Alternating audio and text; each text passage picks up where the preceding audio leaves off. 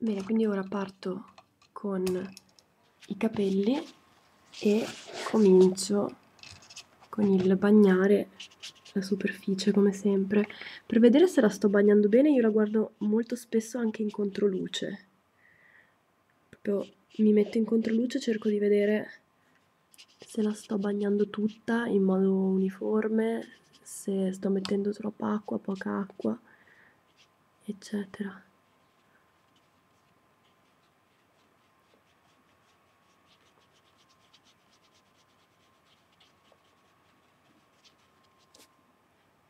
Ok, quindi una volta bagnata prendiamo il solito colore scuro che io faccio unendo insieme un, uh, una terra d'ombra, un po' di viola e un po' di blu oltremare, in questo caso c'è più blu all'interno perché comunque i capelli di questa modella sono nero-blu. E quindi parto, parto dall'alto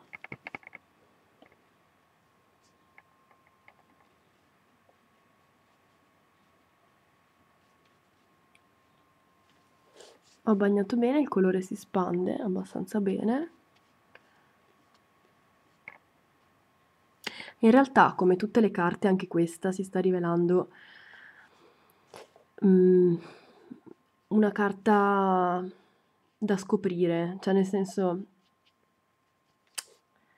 bisogna capire usandola, quindi sbagliando, eccetera, capire quanto bagnarla e tutto il resto. Una volta capita, è una carta, una carta da capire. È- infatti io non credo che esista una carta brutta, una carta bella, cioè ci sono ovviamente sì carte che sono orrende, bruttissime, mm, con cui effettivamente è quasi impossibile anche per, un- per una persona bravissima, esperta, rendere bene un, un lavoro. Però un carte di di una qualità anche media, diciamo così,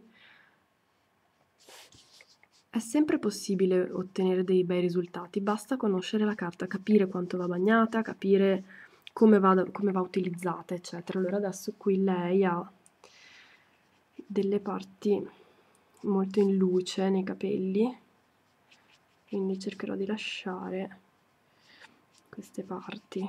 Qui no, qui sono coprire. Um,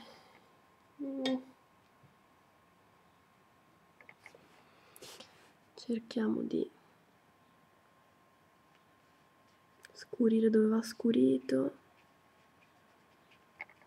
Finché è bello bagnato e si possono far creare degli effetti bellissimi al colore, perché poi si mescola. Quando è bagnato il colore si mescola da solo, non c'è bisogno di far niente.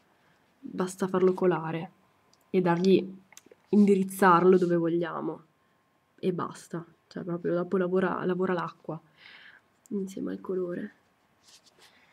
Quindi finché è bagnato io sto scurendo, intensificando, spostando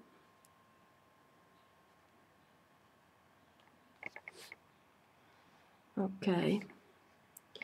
Invece le parti, le parti che non so se vedete qui, per esempio, che manca un po' di, di colore anche qui, sono troppo vicine al, allo sfondo.